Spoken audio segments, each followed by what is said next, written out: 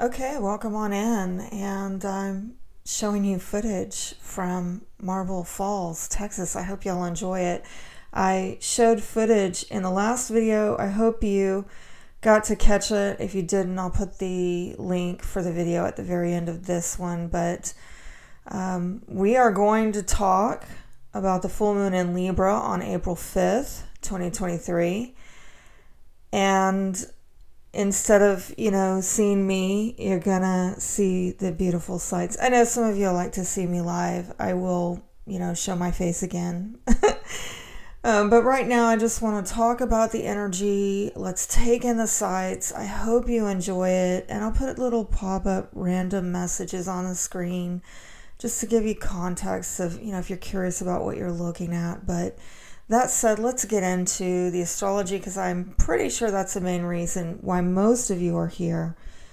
Let's set the tone by thinking about what happened the last new moon in Libra, which was September of last year.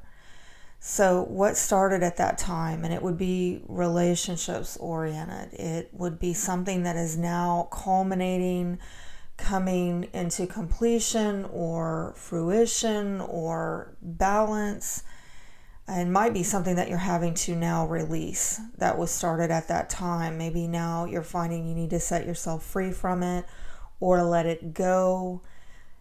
And, you know, on an emotional level, you could find yourself reflecting on what was started September of last year with these relationship issues did it hold you back in some way or did it just simply not move you forward in the way that you hoped or thought right? Because that was a time of new beginnings in September of last year. And when we have new beginnings we're brimming with hope we're brimming with optimism we're looking at the possibilities the potentials. But now that we find ourselves at the end of that cycle did it live up to everything that you hoped it would have? And if not, what have you learned from this experience? So let's put this into context with this current energy. Over the last two weeks, we've been coming off of that new moon in Aries. This is a year where the nodes are shifting into Aries and Libra. And that means we're coming into, you know, an eclipse in Aries next month in April. So all this Aries energy implies self versus other because when we talk about Aries, we can't help but talk about Libra. It's that axis, right, of self versus others. So we've got layer upon layer with the new moon in Aries last week, and now the full moon in Libra, then the nodes moving into Aries and Libra, and the eclipse in Aries uh, coming up very soon. So, for us, you know, putting all of this into context, we're having to probably let go of relationships that are holding ourselves back at an individual level. And you know, Libra can be very diplomatic. So there hopefully is a tone with this full moon of letting things go um, and maybe not taking it so personal. Because it might not be anything personal. It might simply be that you are unable to create a win win solution or a win win dynamic with another person because you two are, you know, on different life paths. You're, you're going in different directions in life of what each person needs for their own life purpose, destiny. And it's nothing personal, it just is. You could be at cross purposes, basically, and at odds um, with your values. And it's not necessarily that anybody's right or wrong, um, but the final analysis is that in some way it impedes your ability to grow and expand personally for you to stay in that that connection so, I think an important question we have to ask ourselves right now is Are relationships supporting that? Are our relationships supporting mutual growth and expansion for each individual involved in the relationship because this is a time where I think now more than ever we need to be making conscious connections. So, there's some aspects of this lunar energy that I'd like to cover uh, during this time. First off, we were looking at the Sun conjunct Chiron in Aries, and you know, I've been talking to for quite a while to a lot of my viewers about you know how many of us uh, that are 70s babies, uh, the Chiron and Aries generation um, we're very much being triggered right now. I imagine Aries are being triggered as well. Um, and the sun there conjunct Chiron and Aries at this time are, you know, is just really putting a, a spotlight. So, um, regardless of whether or not you're Aries or you're, you know, Chiron and Aries generation, look at your personal wounds because really I think the, the energy collectively is asking us to do that. And these are wounds specifically having to do with self worth and really saying, hey, look at this, heal this. Um, and that might very likely require us looking at our own personal limits, our own personal weaknesses, and that of others. Unsavory as it may be, there is a spotlight on individuality and individuating from others and practicing more autonomy. Definitely with the south node in you know scorpio still as we speak and north node in taurus i've been saying for the last year and a half the energies have been forcing us to find our feet. And here we go now with this current energy just adding another layer of you know pushing us to find our own feet. So, in our relationships, I think some very important questions we have to ask others is, you know, how do you need me to show up for you in this relationship?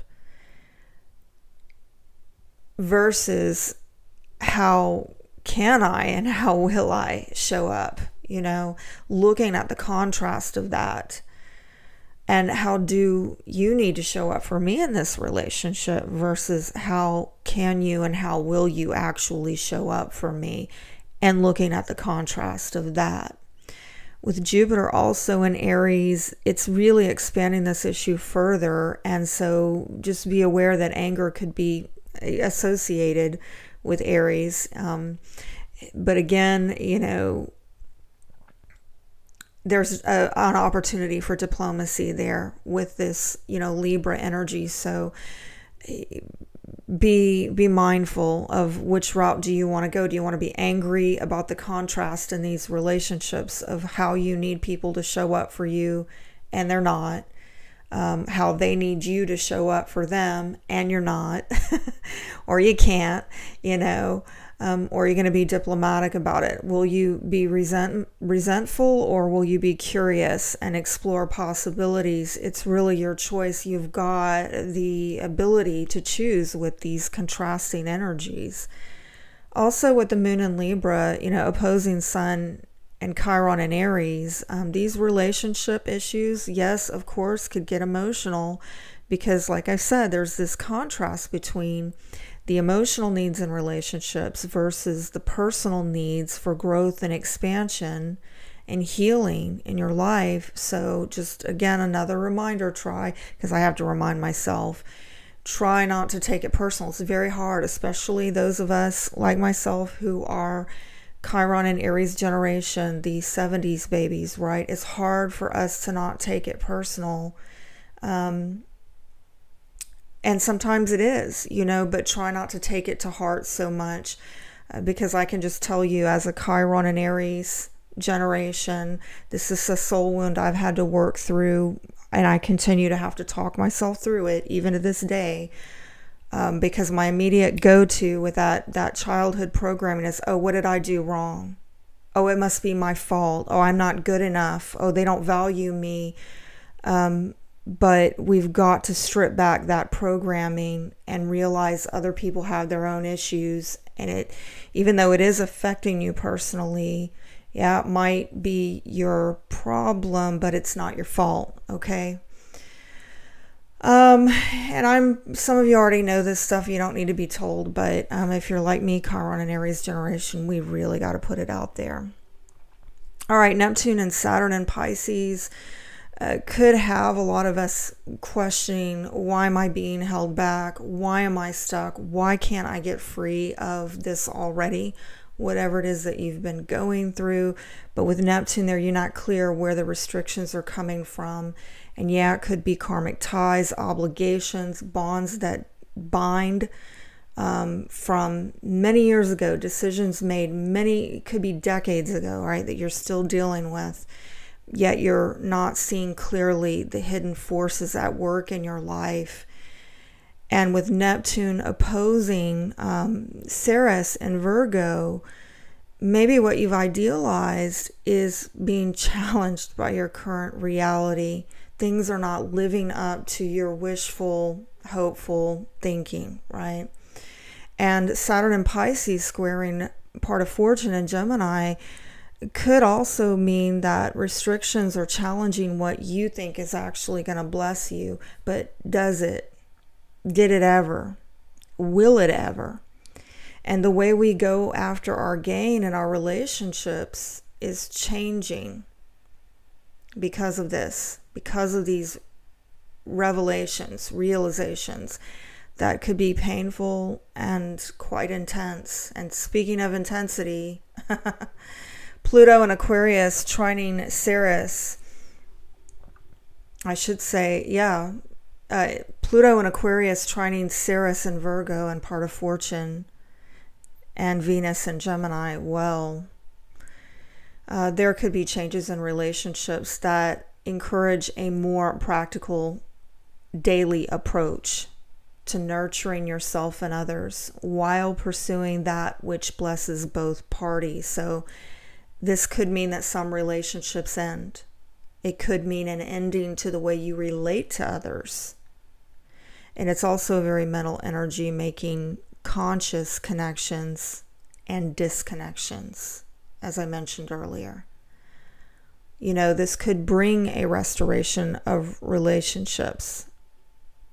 But when I say restoration, um, that doesn't necessarily mean that the relationship is going to get put back the way it was before. Because if the way it was before was in disrepair or neglect or misalignment, Again, be careful what you think restoration of a relationship is. It might not look like what you envision it to be. Just keep your mind open to that with that word restoration. Also, Pluto squaring Eris and Vesta in Aries and the North Node and Mercury in Taurus. This could bring about changes or needed changes that unfortunately could anger you or others. So, um, this could definitely come through some heated communications about needs and um, in the final analysis, you know, the final exchange, you and maybe that other party decide that you're going to have to be more self directed rather than other directed. Mercury North Node and Uranus are in Taurus during this time. So I think a lot of people are going to be thinking about their values. And of course, the values are changing with Uranus there. Uh, and course corrections to those ends, right? To get into alignment with our rightful path forward. And you having to really question are you on point with your values? Are your relationships supporting that chosen direction and that rightful path? With Mars and Pallas and Cancer, you, I think, have to ask yourself, we all do, you know, how to actively nurture and nourish something by bringing more structure and discipline and practicality into our lives, our relationships. And I am seeing a lot of masculine and feminine energy playing out with this this you know Mars and Pallas and Cancer. Okay, there's there's some kind of fussy energy as well going on, and if you look at what's going on in politics about the you know hashtag adult human female. Have y'all seen that? Adult female human, something to that effect. Um, I, I could go on. I'm not going to go on and on and on about that woke agenda, but a lot of people um, are are getting pretty upset. Even the LGB community is uh, getting upset about it, and so-called TERFs, T E R F, uh, getting upset about you know what is masculine, feminine energy in its rightful place. There's a lot of fussy energy surrounding this right now where people are sorting it out. And so hopefully, out of this chaos will come order with Pallas there.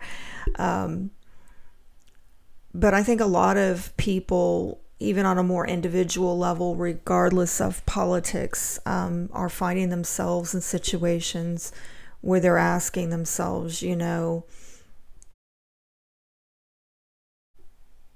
about the proper order of things. Uh, what is feminine? What is masculine? How can I embrace my femininity uh, or my masculinity, whatever it is that you authentically are? Okay.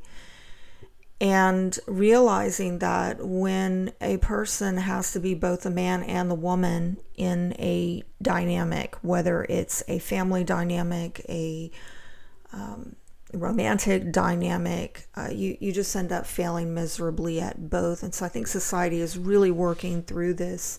Hopefully, um, Pallas in Cancer is is helping it because right Mars is also a lot of sexual energy as well.